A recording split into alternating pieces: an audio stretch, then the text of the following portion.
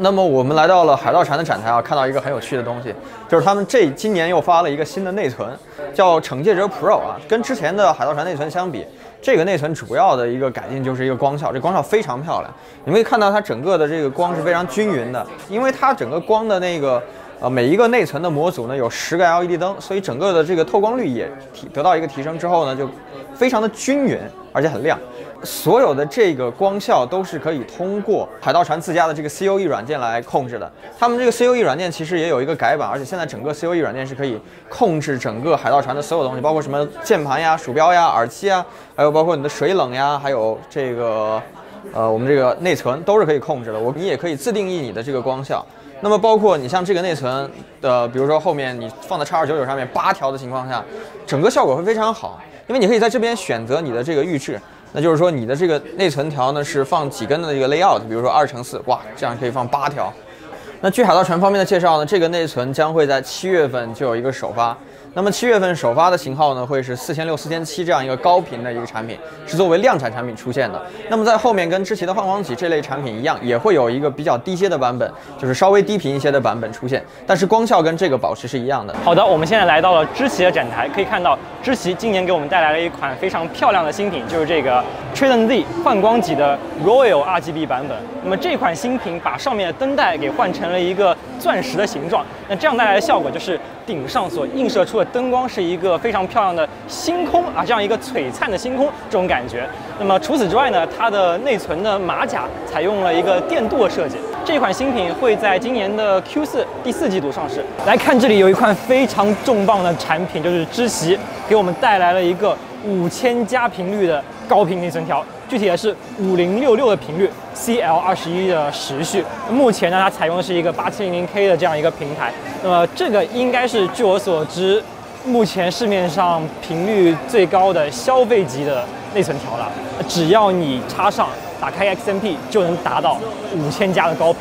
这个平台采用的是 Ryzen 7 2700X 的 CPU，那么这是一个 Ryzen 平台，对吧？大家知道 Ryzen 平台的内存控制器的性能并不是非常优秀，但是知奇在这一套平台上达到了四千的频率，并且时序是 CL 十八啊，非常棒了。那这样一来，这套 Ryzen 平台和英特尔平台在内存性能上的差距就已经拉得非常小了。这里有一套比较特殊的平台啊，它是采用了。四条内存，那么大家知道，在同时采用四条内存的情况下呢，内存的频率是很难获得提升的。但是这一次知奇给我们带来了一个四千六的频率，同时四个内存，四千六的频率，时序是 CL 十八。好，那我刚才路过那个 IKBC 的展台，然后到这边看到 Mistel，然后我发现一个特别有意思的键盘啊，就是这个样子的键盘。就我没有能够想象到一个键盘，他们做机械键盘把这个直接做分开，其实很像微软之前出的那个键盘啊，你们应该有印象。然后这个键盘用的那个轴呢，它是一个那个 ML 轴，它不是传统的 MX 轴，它是 Cherry 的 ML 轴，键程很短，原来用在笔记本上面的。它的手感呢，其实有点像那种，有点像那种 ThinkPad 的笔记本之类的那种感觉，很舒服，很特别。啊，然后这个呢，就是我们那个新的 MX，呃，Low Profile。产品，那这个的话，它的这个手感其实跟这个有点像，但是有点不一样。呃，它其实是一个红轴，然后它的这种克数呢也是红轴的克数，但是键程呢要短一半。那我们路过了这个微刚的展台啊，可以看到微刚这里有一个比较新的，我们前一阵子微信上推了一条词条，说过这个内存呢破过记录。那现在它这个是一个量产的五千兆赫的一个内存，就五 G 赫的一个内存。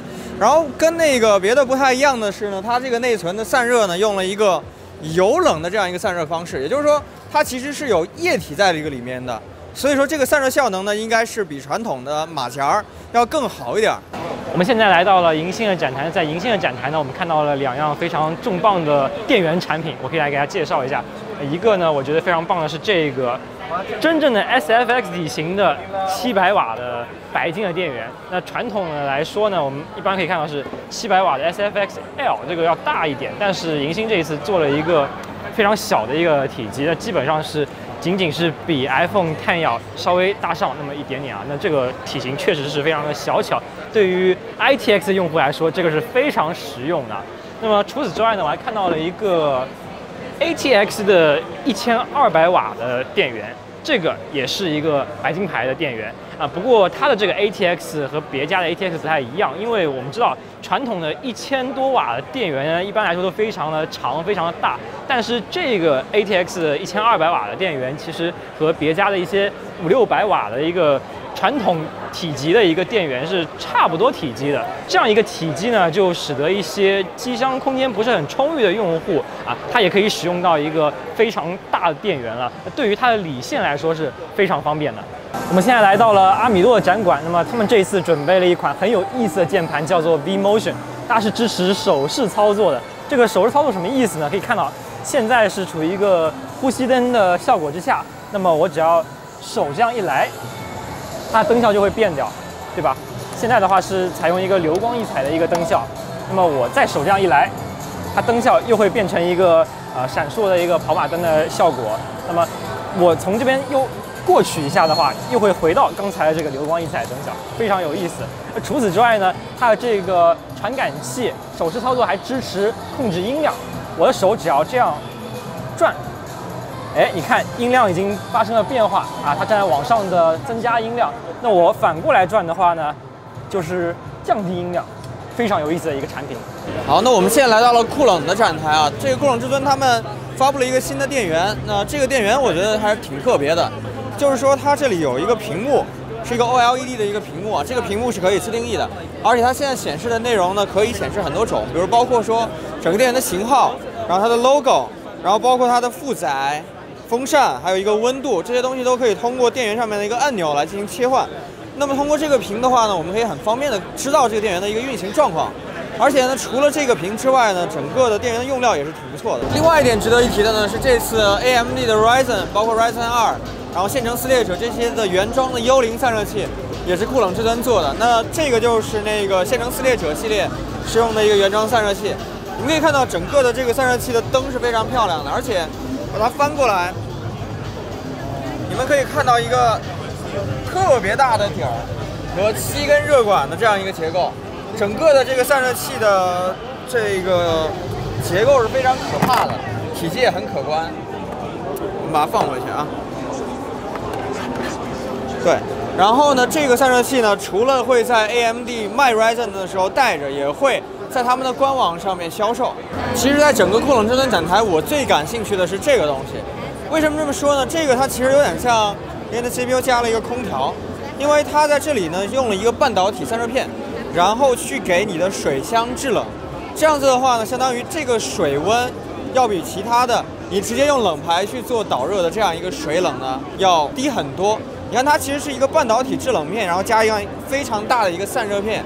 来给半导体散热片制冷，然后半导体散热片去给水制冷，这样子一来呢，整个 CPU 的温度应该是可以控制在一个非常理想的范围内的。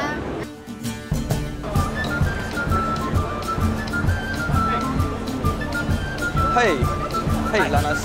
Uh, I'm the. Yeah, I'm, we are from China. We are your fans, and we also the YouTuber and uh,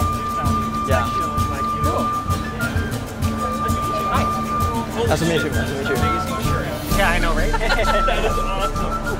Bitcoin. Bitcoin. Can we take a selfie? Yeah, of course. Why not? Uh, I can take a picture if you guys want. can, can someone? Ah, thank you.